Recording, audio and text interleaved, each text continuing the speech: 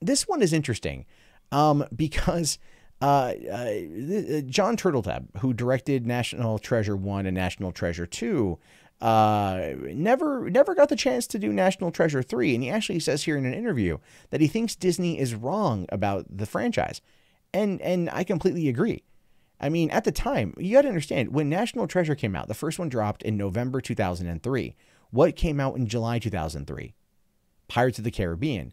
So you had two Jerry Bruckheimer produced action adventure films through Disney that both did gangbusters in 2003.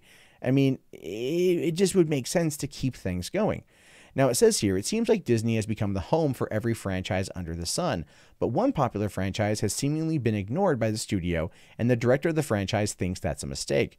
Jon Turteltaub, whose new film is The Meg, was recently asked about the long rumored third entry in National Treasure franchise, and while it seems the studio may not be entirely against the idea, he claims that Disney just thinks other franchises would be more successful, and thus National Treasure 3 is being ignored. Turteltaub respectfully agrees with the strategy, saying here, when National Treasure first got made, there was a lot more money to go around. Everybody got paid nicely. The problem with getting the third one made isn't that people who are getting paid saying, I'm not doing this unless you pay me a lot. It's really that Disney feels they have other films that they want to make that they feel will make them more money. I think they're wrong.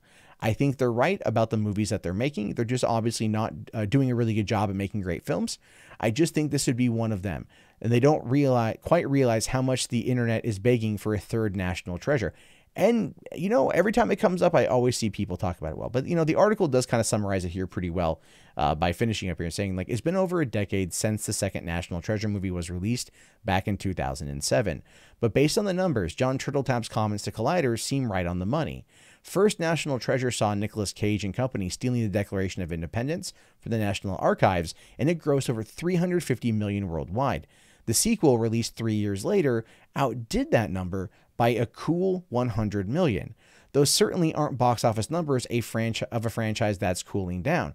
Now, ultimately, with with with uh, National Treasure 2, you know, going to uh, Mount Rushmore, finding an old Navajo treasure, kidnapping the president. I mean, yeah, it definitely went a little bit a little bit bolder, a little bit crazier, and didn't have Sean Bean being a badass villain that he was in the first movie. But it was still fun, and it still it was able to I think really kind of solidify itself as a fun action adventure franchise. I think part of the problem with this movie too, or with the franchise, was we also had Sahara come out uh, two years prior, and that one kind of crashed and burned, which is sad because Breck Eisner did a great job directing it. Matthew McConaughey was awesome uh, as Dirk Pitt, and the movie was a lot of fun. I, I still love Sahara to this day. And you know, I would love to see them go back to that. I'd love to see these type of over the top action adventure films make a comeback, right? But the big problem too is Disney when it comes to Disney's in-house production, right? What the stuff Alan Horn is supposed to be doing, the stuff Alan Horn is supposed to be overseeing, it it it, does, it, it it's just not working well for them, right? Uh, look at look at uh, you know look at look at a lot of their you know they're they're doing the live action remakes right now of these of these movies of their animated films and those are doing well. But have they put out anything else? right? I mean, go back four, five years, Jesus, five years to uh, to the Lone Gunman, uh, not the, the Lone Ranger, not the Lone Gunman. That was a TV show on Fox, uh, but the Lone Ranger in twenty uh, in twenty thirteen, and that movie was was a bomb, a midsummer bomb. Then you had even the year before that, John Carter coming out, uh, you know, and that movie. Uh, I think opened in March of 2012 and it bombed. And, and the thing is, that was a good movie. John Carter was an excellent film. I don't care who you are right? But Disney, when it comes to kind of original properties that aren't sequels, uh, or in this case, live action remakes of animated films, uh, are, are having trouble getting it off the ground. Their in house production has really not done very well, which is why they're focusing on these other movies. And I can't blame them for wanting to keep remaking these cartoons. Beauty and the Beast, which ultimately added nothing of value nothing of value. It didn't improve upon the original in any conceivable way. I mean, Christ, Lumiere dabbed for God's sakes. He dabbed. He dabbed. That is just. That's a crime against humanity right there. It grossed over a billion dollars and it was a mid March release. So, you know, they, they know this is what's doing well. And I think that's why. I think when it comes to you know, look at Pirates of the Caribbean five last last year. I, I, I you know that movie, uh, two hundred million dollar budget, crashed and burned. their their in-house uh, their in-house production teams are just not not handling it, and so maybe they should. Maybe they should look at National Treasure three.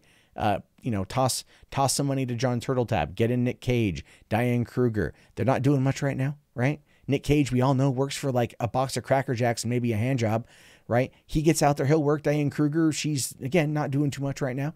Get them in, and here's the thing: you make the movie as an as a Disney original for Disney Direct. You don't put this thing out in theaters.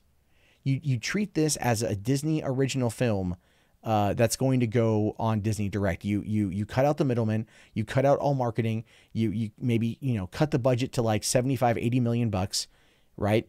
And you tell a good story with these people and you put it out there. And you copy the Netflix model. That's what they need to do. They, they just got to copy the Netflix model and ultimately it's going to work out better for them in the end anyway.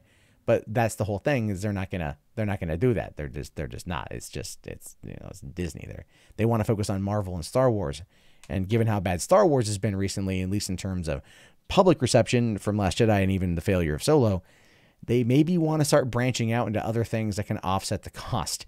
Um, but uh, we'll have to wait and see here. And speaking